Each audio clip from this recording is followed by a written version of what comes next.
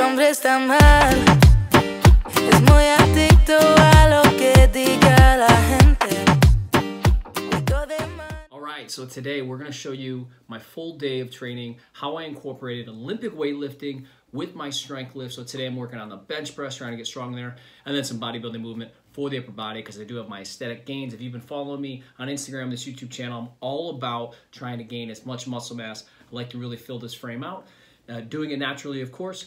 So in today's workout, I'm to incorporate my Olympic weightlifting first because that's obviously a performance goal of mine. I do compete in that sport. So I'm working on some high block snatches, and then I go on to high block clean, plus front squat, plus jerk, a nice complex there. I'm working with singles in like the low 80%. Uh, and this is week four of my five week program. So really just working on uh, moving some singles, staying below my 85% threshold because during this phase, it's a two, uh, basically two month phase, I'm doing a lot of strength work. So I'm really prioritizing bench, squat, and deadlift, trying to get those numbers up, trying to get stronger so that I can then use that strength for more of my lifts. And then also the volume is really gonna, uh, when I look at my bodybuilding movements. So today I was working on chest, back, and tricep day. So in this video, I'm gonna show you how I incorporated all of that into about a 75 to 90 minute session. I was kind of dragging a little bit in the beginning, uh, getting warmed up, but uh, in this video, make sure you guys check it out. Uh, I go over a lot of why I chose these variations from the high blocks. That's something that I struggle with. I also like it because I do, uh, it allows me to get good volume in without really like putting too much stress on my back because I, you know, I don't want to be pulling from the ground a lot if I'm already doing that in a lot of my accessory movements. And day one was also yesterday, and that was a lot of lower body. So wanted to limit pulling from the floor. And so if you guys are interested in more training like this, make sure you guys do subscribe to me on Instagram. I do a lot of questions, Q&As about how you can incorporate things. I share my workouts.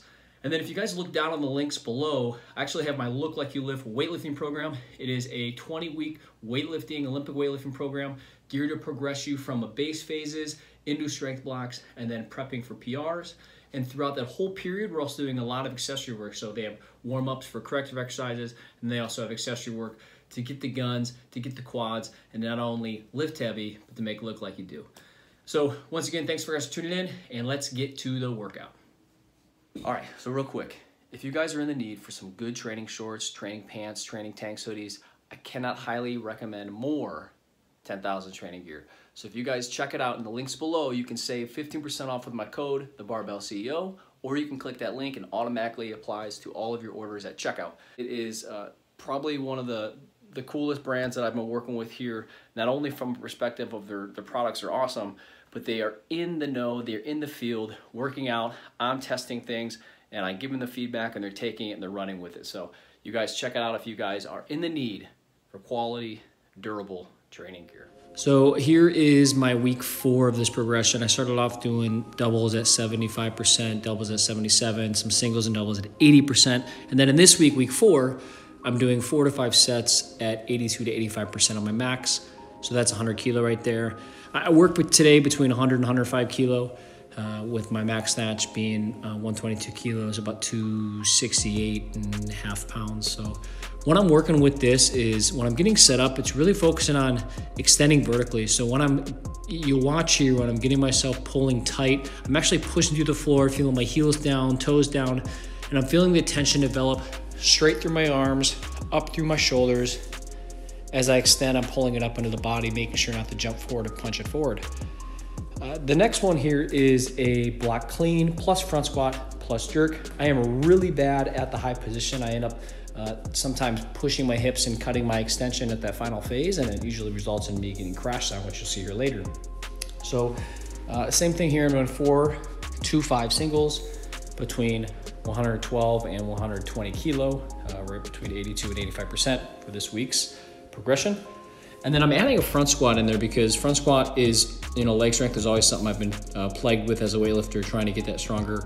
So when I'm in my, my strength phase, I'm sneaking in some, some high quality front squat volume and making it very applicable to the lift. Uh, and then I also like doing front squat because I, I am a strong jerker, so I like to kind of even the playing field out. So this is my first rep at 120. Uh, uh, precursor is 112, 115.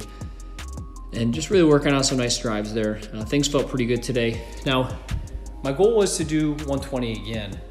And as you can see here, old habits came back, they die hard. I kind of shifted and banged my hips forward and I missed that lift. So I went back at it again. And same thing, I just, I don't fully stand up and I try to bop the hip out there. So I ended up uh, going back down here to 115 kilo and really focused on pulling the bar up into the hip, keeping my heels down. And obviously you saw the difference there, very clean lift, nice good front squat, nice vertical drive. And then things felt good. And I like dealing with ranges sometimes. So I had four to five sets, kind of make a call. If it felt good, I could, you know, put one down and I'm obviously staying in my range here of my 82 to 85%. So then I went back to 120 kilo, 265 pounds here for high block clean, front squat, jerk.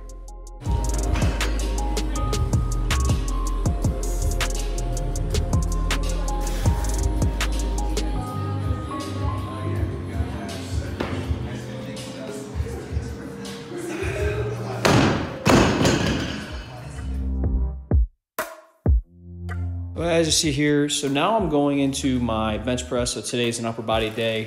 So when I was doing this here, uh, I was working my bench press four sets of anywhere between four to five reps. I like working ranges sometimes when I'm doing percentage base, uh, just because the body can kind of variable here. So this is 80%. A little bit of cheat on that last, last rep here.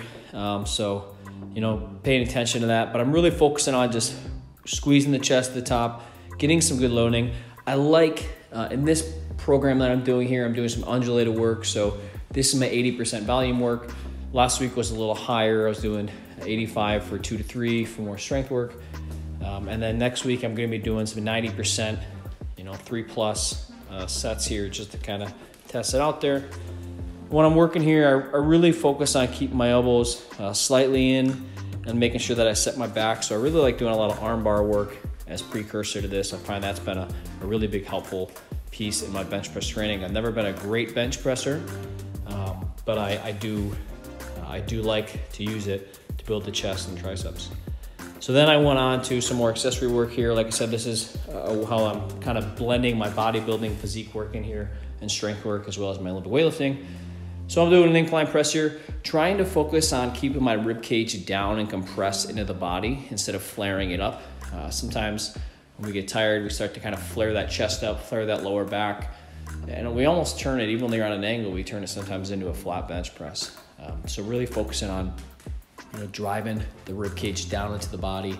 Sometimes I'll even like put my legs up on the dumbbells there just to really kind of set that pelvis and make sure it stays neutral. Nice slow descent, deep stretch at the bottom, brief pause just to keep tension on the chest and a, and a purposeful contraction.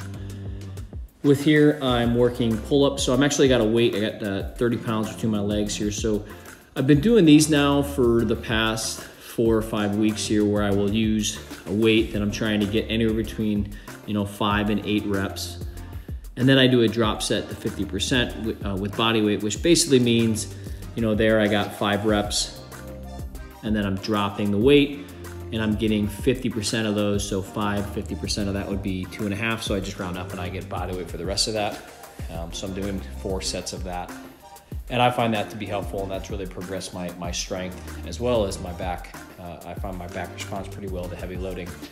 Then I go back here. So I just did a superset. I think with supersets, the biggest thing here is like, just move freely. I'm not out here trying to burn calories. I'm out here trying to get strong and build muscle mass. So, you know, if your goal is to get swole and to get strong and to get, you know, build the muscle hypertrophy. Um, don't feel like you need to rush through things because if you aren't able to push the loads and put your best foot forward, you're probably uh, not taking enough rest. So then I finished, I had about five minutes left and I ended up getting some metabolite work for my triceps. So I like to do this sometimes just at the end here to uh, get good quality work in, but also, you know, make it time efficient. So I used a weight here that I was able to get about 20 reps for my first set, you know, 20, 25 reps. So I think I did 25 here, uh, kind of cut it short here for this video. But then what I'm doing is I, I had a number. So, you know, anywhere between 70 and 90 total reps, kind of how I feel there. So maybe, you know, the first week is, you know, 70, next week is, you know, 75, next week 80. So this today was 80. And I just kind of take my reps and rest where I need it. Then I'm coming back and I chip away. So I think I did 25, 15, 15. And then from there, I was just kind of chipping away at 10s and 5s. I'm really focusing on triceps, uh, getting that full lockout at the bottom, even if it's brief, getting that extension, trying to keep the shoulder out of it, and really work on flexing at the bottom.